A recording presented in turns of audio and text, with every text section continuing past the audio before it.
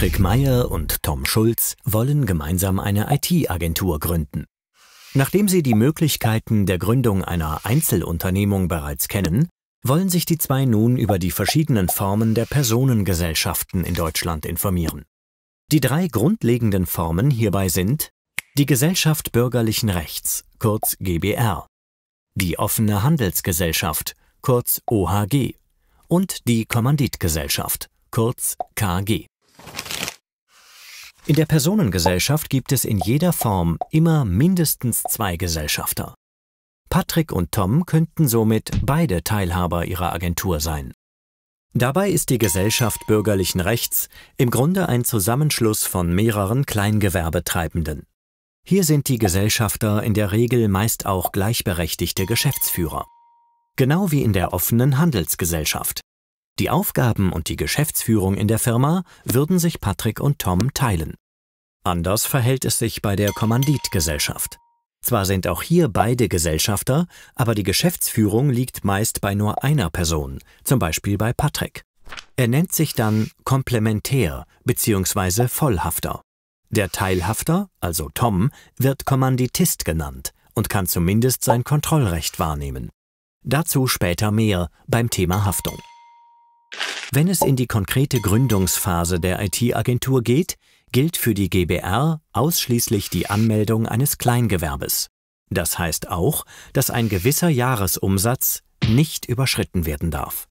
Will man anstatt des Kleingewerbes ein Handelsgewerbe ohne Umsatzbeschränkung gründen, dann ist die OHG hier die richtige Rechtsform. Damit ist auch automatisch die Eintragung ins Handelsregister verbunden, was gleichermaßen auch für die Gründung einer KG zutrifft. Wenn es um den Namen für Patrick und Toms Neugründung geht, muss die Agentur in der GBR als offizielle Geschäftsbezeichnung immer die Vor- und Nachnamen der Gesellschafter tragen, also etwa Patrick Meyer und Tom Schulz.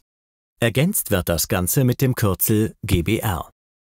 Ein Branchen- oder Fantasiename kann zusätzlich geführt werden.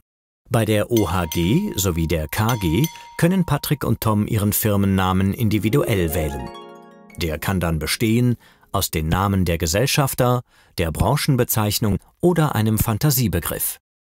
Wichtig sind am Ende die Kürzel OHG bzw. KG. In bestimmten Fällen gibt es auch hier Ausnahmen. Das Stammkapital einer Personengesellschaft ist meist frei wählbar und setzt sich aus den eingebrachten Einlagen der Gesellschafter zusammen. Das muss nicht immer nur Geld sein, das können auch Immobilien oder andere Wertgegenstände sein. Jetzt geht es um die Haftung.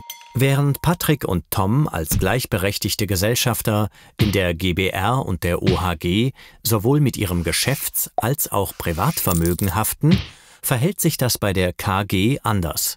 Da haftet Patrick als Komplementär voll, also mit dem Geschäfts- und seinem Privatvermögen. Tom als Teilhafter würde nur mit seiner Geschäftseinlage und nicht mit seinem Privatvermögen haften. Den Gewinn teilen sich die Gesellschafter in der GBR meist zu gleichen Teilen. Bei der OHG und der KG werden Patrick und Toms Einlagen laut Handelsgesetzbuch in der Regel mit 4% verzinst. Da es viele Möglichkeiten der Gewinnaufteilung gibt, werden diese meist in einem Gesellschaftsvertrag geregelt. Auch alle anderen Punkte, die zu einer Gründung einer Personengesellschaft gehören, können ebenfalls in diesem Vertrag festgelegt werden. Und neben der GBR, OHG und KG gibt es ja beispielsweise auch noch die GmbH und OHG, die GmbH und Co. KG oder auch die Partnergesellschaft für den Zusammenschluss von Freiberuflern. Patrick und Tom wissen nun einiges mehr über die Möglichkeiten einer Personengesellschaft. Allerdings gibt es da ja noch die Kapitalgesellschaften, die sich Patrick und Tom im nächsten Teil mal genauer anschauen werden.